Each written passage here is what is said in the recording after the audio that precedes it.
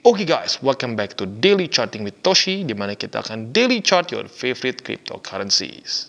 Oke, okay, dalam 24 jam terakhir, sayangnya cryptocurrency market lanjut turun ya sebesar 3,13 persen. Dengan total market cap sekarang di 1,86 triliun US dollars dan sekarang Bitcoin kurang lebih kembali ke angka 40 ribu ya. Dan itu merupakan penurunan sebesar 3,32 persen. Jadi kurang lebih plus-plus antara kemarin dengan kemarin lusa ya. Dan Ethereum, dia uh, penurunan sebesar 3,42% dengan harga sekarang di 3 ribuan. BNB, dia turun sebesar 2,5% dengan harga 450-an.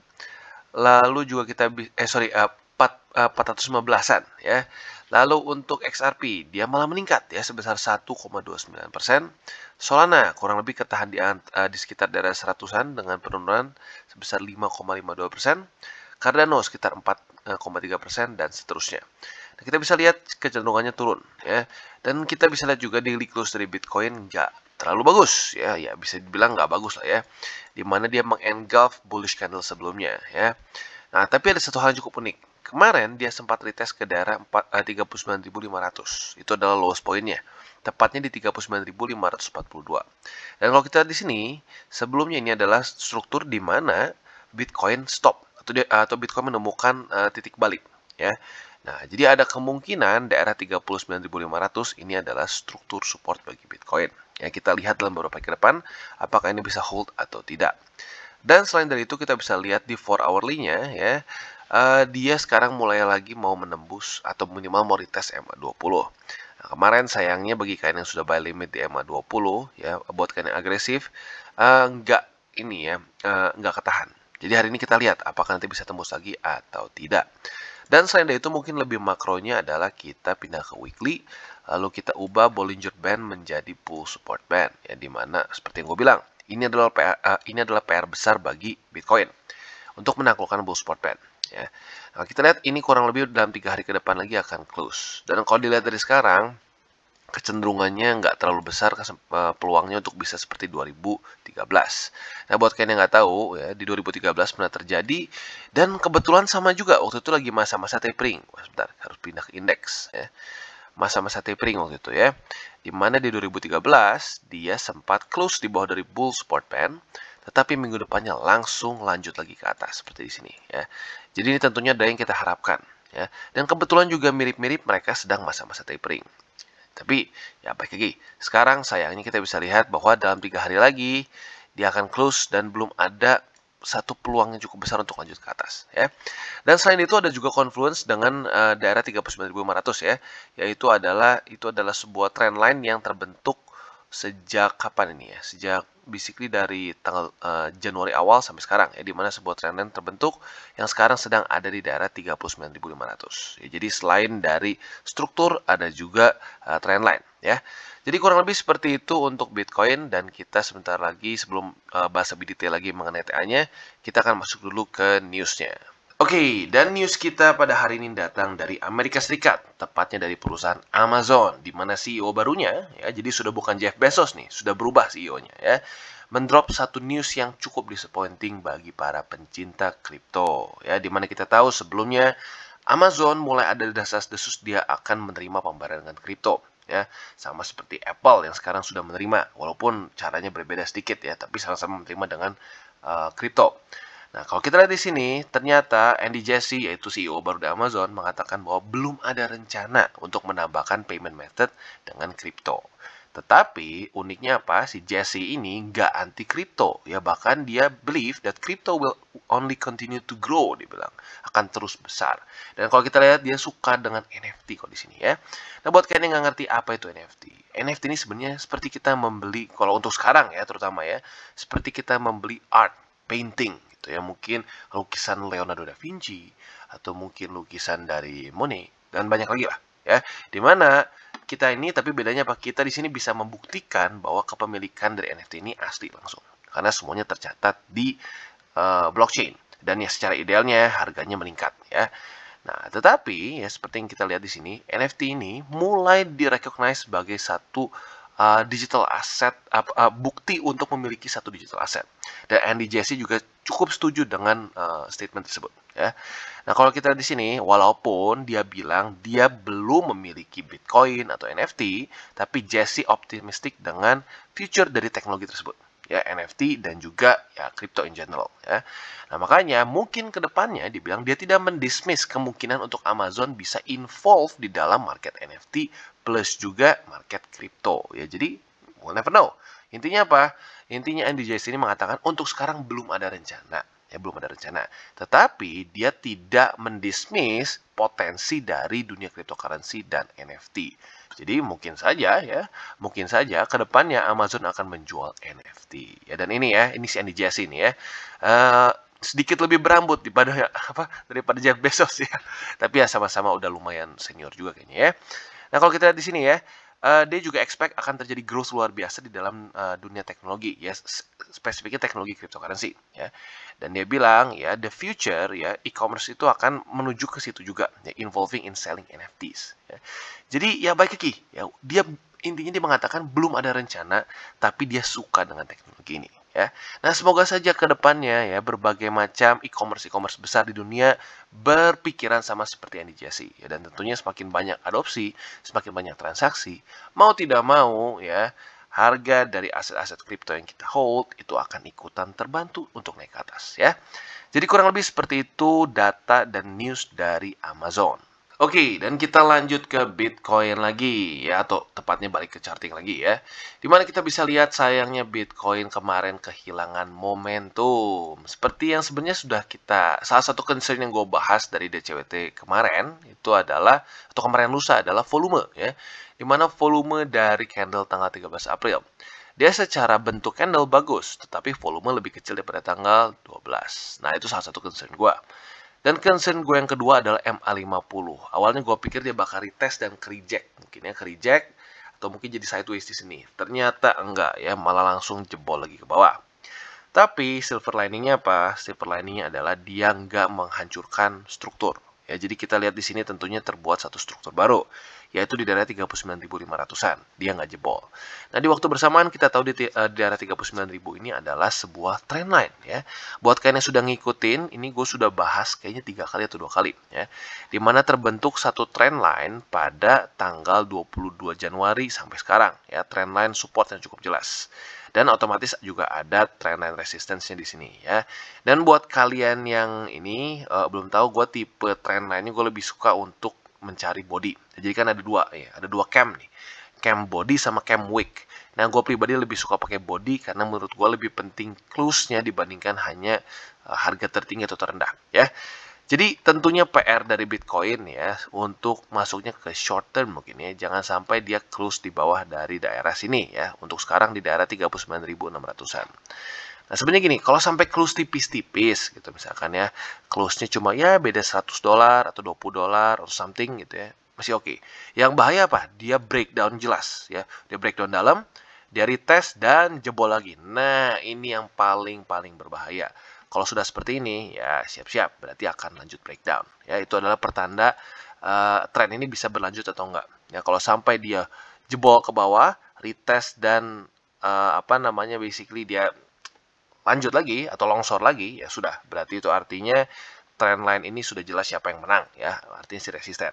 Tapi kebalikannya, kalau sampai eh, BTC bisa pelan-pelan lagi retest MA50, jebol, lalu juga bisa akumulasi lagi, eh, sorry, uh, bisa mantul lagi di MA50, lalu mulai bisa break up ke sini dan melakukan hal yang sama basically seperti yang uh, di bawah cuma di versi reverse.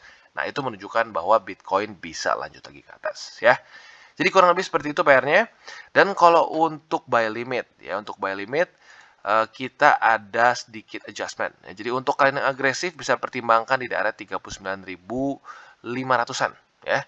Nah, untuk kalian yang masuknya ke medium risk bisa pertimbangkan di daerah 37.000 dan buat kalian yang masuknya lebih ke uh, konservatif ya bisa pertimbangkan di daerah 35.000 ya.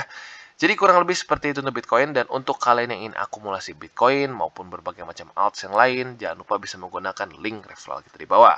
Tentunya sekali lagi nggak wajib, tapi apabila lo menggunakan link referral kita di bawah, secara aktif lo membantu perkembangan dari TCI. Dan satu lagi, jangan lupa juga bahwa DCWT ini bukanlah bagi-bagi sinyal dan bukan juga financial advice. Sekali lagi, tujuan untuk daily charting with Toshi ini adalah untuk membiasakan para subscriber gue untuk bisa charting. Oke, okay, dan selanjutnya kita balik ke Ethereum. Dan untuk Ethereum kita bisa lihat ya sayangnya breakdown. Kebantu breakdownnya oleh BTC tentunya ya. Nah kalau kita lihat di sini dia sayangnya juga bearish engulfing. Berarti ya bearish candle-nya lebih besar dibandingkan dengan candle sebelumnya ya atau lebih tepatnya candle bullish sebelumnya. Nah, tetapi ya walaupun terjadi seperti itu, silver liningnya adalah apa? MA50-nya masih kokoh, ya masih bertahan sebagai support. Jadi itu satu hal yang harus kita syukuri ya. Dan di waktu bersamaan itu menjadi PR bagi Ethereum.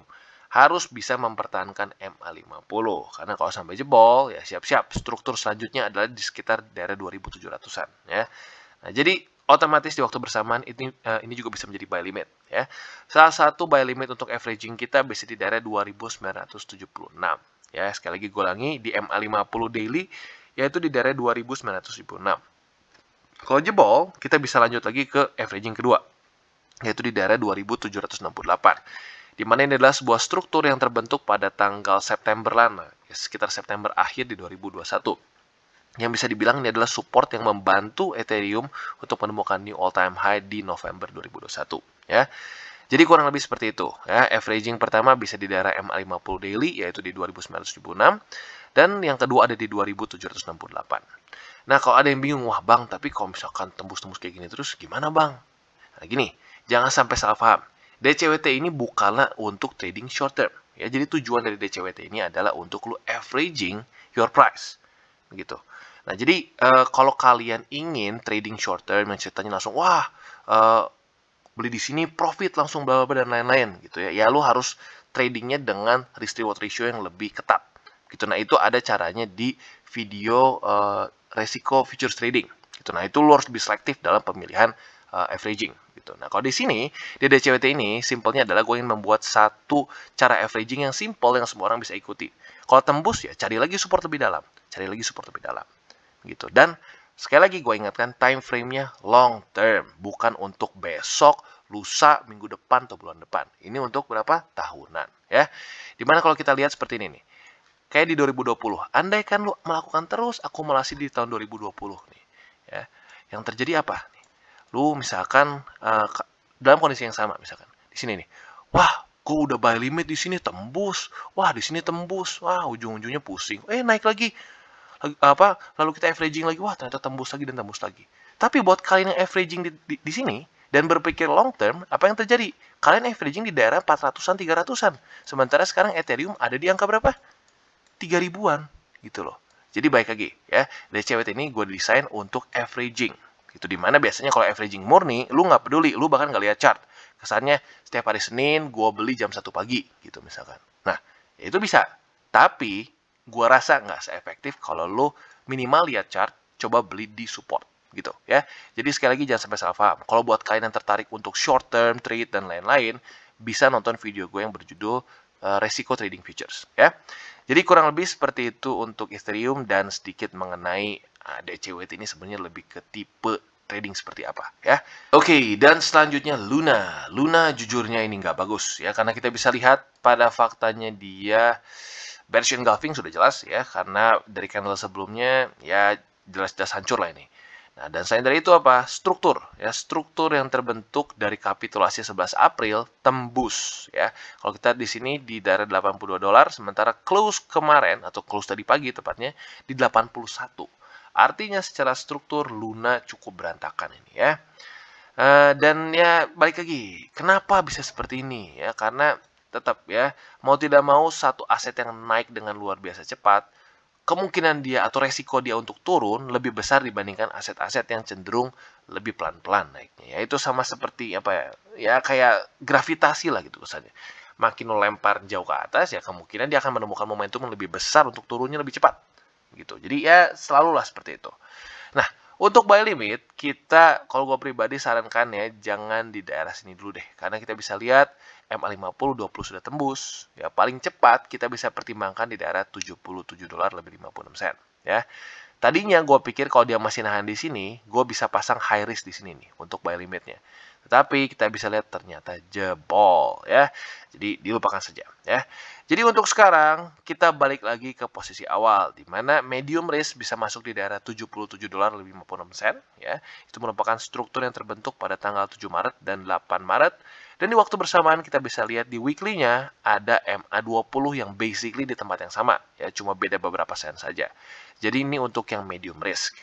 Nah untuk kalian yang lebih konservatif bisa pertimbangkan di daerah 75 dolar lebih 11 sen, di mana itu adalah sebuah struktur resisten all time high dulu di tanggal Desember lah, Desember 2021 ya. Jadi kurang lebih seperti itu untuk Luna. Gue ulangi, untuk medium risk bisa pertimbangkan di daerah 77 dolar lebih 56 sen di mana di situ ada struktur dan confluence dengan MA20 di weekly ya. Atau buat kalian yang konservatif bisa pertimbangkan di daerah 75 dolar lebih 11 sen. Oke, okay, dan selanjutnya BNB. Lagi-lagi secara TA BNB cukup perkasa ya. Di mana dia berhasil mempertahankan daerah 410 US dollars. Di mana kalau kita lihat Ethereum nggak berhasil, Luna jauh dari berhasil ya. Uh, tapi BNB masih cukup kuat. Ya, ini jujur hebat ya. Tapi balik lagi, ya kalau BTC sampai turun ke 35 sampai ke 30, ya nggak akan kuat ya. Ya, tapi baik lagi, harapan kita adalah BTC bisa mulai stabil dan mulai retest lagi bull support band ya. Kalau bisa seperti itu, menurut gua BNB bisa selamat kemungkinan besar ya. Jadi untuk buy limit sebenarnya nggak berubah ya untuk Binance ya. Jadi buat kalian yang lebih ke konservatif, pertimbangkan di MA50 dan buat kalian yang lebih agresif, ya atau mungkin masuknya ke medium risk lah ya, bisa pertimbangkan di daerah 410 US dollar ya. Di mana kemarin harusnya nyaris dapat, tapi belum dapat ya. Kemarin lowest pointnya itu di 411 ya. Jadi kurang lebih seperti itu untuk BNB dan kalau untuk struktur baik lagi masih oke okay, ya, masih oke. Okay. Dia masih di atas 50 dan juga masih di atas dari satu struktur uh, resisten yang terbentuk pada tanggal ya awal-awal Maret 2022 ya. Jadi kurang lebih seperti itu untuk BNB dan kalau untuk weekly-nya kita bisa lihat bahwa dia masih ya ketahan oleh daerah 410 secara overall ya. Tinggal kita lihat apakah nanti dalam minggu-minggu ke depan bisa kembali close weekly di atas dari MA50. Kalau bisa sekalian juga eh, sekalian juga di atas dari MA20 ya. Jadi kurang lebih seperti itu untuk BNB. Oke, okay, dan selanjutnya XRP. Ini dia anomali markets ya. Sekarang eh, dia malah naik 7 persenan ya. Coba kita lihat penasaran di CMC-nya berapa persen ya. Untuk di CMC-nya kita bisa lihat XRP ini meningkat 5,65 persen dalam 24 jam terakhir ya. Jadi luar biasa. Uh, kalau nggak salah gue baca ini ada news soal dengan SEC kalau nggak salah ya. Tepatnya apa gue belum baca, tapi kemungkinan besar karena itu ya. Nah untuk sekarang dia sedang mau retest MA50 di daily. Kita lihat apakah momentum dari XRP ini cukup besar atau tidak. Tentunya PR dia adalah dia bisa close di atas dari 50, kalau perlu sekalian di atas 20. Nah, semoga kalau dia sudah close di atas di situ, price range dia mulai berubah lagi, bisa ya minimal bertarung di atas ini dan mencoba retest lagi resisten-resisten yang menunggu di daerah sini. Ya, ini baik lagi ini adalah resisten yang cukup dekat ya, daerah 0,82, 85 dan 87. Dan kemungkinan besar kalau sampai masuk lagi ke daerah sini, itu akan jadi permainan pingpong lagi seperti pada Maret ya, pada bulan Maret ini kurang lebih ya. Nah, tapi untuk sekarang karena dia belum berhasil menembus MA50 dan 20 dan belum daily close juga, jadi buy limit sih kurang lebih masih sama ya. Antara lu pasang di 70 sen di sini atau ya sudah lu bersabar nunggu sampai dia terjadi konfirmasi bahwa MA50 dan 20 bisa kembali menjadi support yang baik ya. Jadi kurang lebih seperti itu, gue ulangi. Untuk kalian yang ingin buy limit atau averaging XRP bisa pertimbangkan di daerah 70 sen atau bisa juga kalian pertimbangkan saat sudah daily close di atas dari uh, di atas dari 50 dan 20 lalu terjadi lagi apa namanya konfirmasi baru lu beli ya. Jadi kurang lebih seperti itu untuk XRP dan overall kita bisa lihat ini pump yang lumayan bagus. Tinggal pertanyaannya kita lihat apakah dia bisa menembus atau malah reject oleh M50 ya. Oke, okay, dan selanjutnya kita masuk ke Polkadot. Nah, kalau untuk Polkadot kita bisa lihat generally just lack in volume ya, sepertinya di mana ya dia nggak ke mana-mana ya. Dibilang ngedrop juga enggak ya, adalah drop sedikit tapi ya nggak sangat signifikan juga. Jadi untuk Polkadot ini cenderung malah kayak sideways di sini ya. Nah, jadi tentunya yang harus kita perhatikan adalah MA50 nih. Apakah nanti mungkin dengan misalkan andaikan ya, tentunya kita berharap BTC bisa rally lagi. BTC rally lagi dan mungkin bisa reclaim bull support band. Nah, Polkadot kemungkinan besar akan retest MA50. Nah, itu jadi PR pertama dia. Saat dia retest MA50, apakah dia akan berhasil atau malah reject lagi turun, ya. Nah, tentunya ya kita harus lihat sampai nanti ke titik di sini ya. Nah, jadi untuk sekarang PR dari Polkadot adalah minimal jangan ngedrop dulu ya. Nggak apa-apa saat wish dulu beberapa hari, ikutin dulu kondisi BTC, BTC rally baru coba di tes 50. Nah, jadi ya itu PR-nya, bertahan dulu. Lalu fase keduanya PR-nya adalah menembus MA50 dan jangan sampai dia kepukul oleh 20 ya. Jadi kurang lebih seperti itu. Untuk buy limit karena masih di tengah-tengah sini, gue pribadi masih pertimbangkannya di daerah 15 dolar lebih 96 sen atau kalau mau dibuatin lebih ke 16 sen ya. Karena di daerah sini walaupun kita di 4 hourly bisa sih di 20, tapi jujurnya menurut gue nggak terlalu worth it. Tapi ya baik lagi, kalau lu agresif banget ya monggo monggo saja. Tapi ingat ini alts ya. Jadi alts kita tahu saat dia saat BTC di bawah dari bull support band biasanya akan suffer. So gue pribadi nggak akan terlalu ambil resiko sebesar itu, maka gue bersabar aja antara dia saat sudah berhasil menembus MA50 di daily dan konfirmasi, atau sekalian aja pasang buy limit di 16 dolar ya. Jadi kurang lebih seperti itu untuk Polkadot. Oke, okay, dan selanjutnya Phantom. Kita bisa lihat sesuai dengan pembahasan kita kemarin kayaknya, atau, atau berapa hari lalu ya. Di mana dia kereject oleh daerah 1 dolar 20 sen. Ya, jujurnya nggak, nggak buruk sih, karena emang faktanya ya yang lain pun ketahan oleh BTC.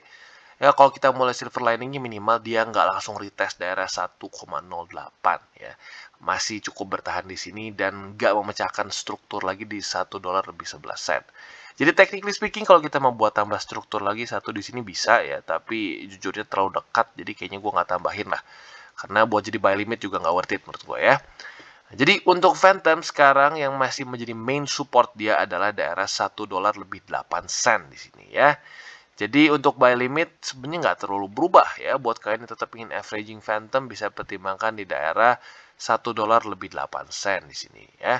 Nah, buat uh, buat tentunya PR dia adalah kalau bisa menembus lagi daerah 1 dolar 20 sen ya. Menemukan lagi momentum, cari lagi volume dan tembus ya. Nah, setelah itu ya kemungkinan besar akan stuck dulu di sini ya. Mungkin bisa ya sehari mungkin atau dua hari lalu kita lihat apakah dia akan dipukul oleh EMA 20 atau dia malah bisa menaklukkan 20 ya. Jadi kurang lebih seperti itu untuk Phantom dan tentunya PR besarnya adalah menembus dua resisten ini plus jangan sampai tergampar atau tertampar oleh MA20 di sini ya. Jadi uh, untuk buy limit juga masih sama ya di daerah sini juga di daerah 1 dolar lebih 8 sen. Dan overall ya baik lagi untuk Phantom jujurnya secara TA not looking good jujur not looking good. Karena strukturnya nyaris-nyaris ketembus terus ya. Jadi ya harapannya semoga saja BTC cepat recover dan Phantom bisa di tempat yang lebih aman lah minimal ya. Di atas dari MA20 dan 50 harapan gue sih ya. Oke okay guys, jadi itu adalah akhir dari segmen DCWT kita pada hari ini. Dan jangan lupa bagi kalian yang merasakan manfaat dari segmen ini, jangan lupa untuk share ke teman-teman kalian. Dan apabila lu pengen mensupport channel kita ya TCI jangan lupa untuk menggunakan link referral kita di bawah. Nggak wajib ya tetapi apabila lo menggunakan link referral kita di bawah ada macam-macam ya dari Bybit, Huobi, Maxi, toko kripto dan banyak lagi ya. Ya walaupun nggak wajib tapi kalau menggunakan link referral kita lo secara langsung membantu perkembangan dari TCI dan satu lagi, jangan lupa juga untuk join Telegram group kita, di mana kita bisa ngobrol-ngobrol santai mengenai dunia cryptocurrency secara dua arah. So, jangan lupa untuk like, subscribe, click the bell icon, and see you on the next video.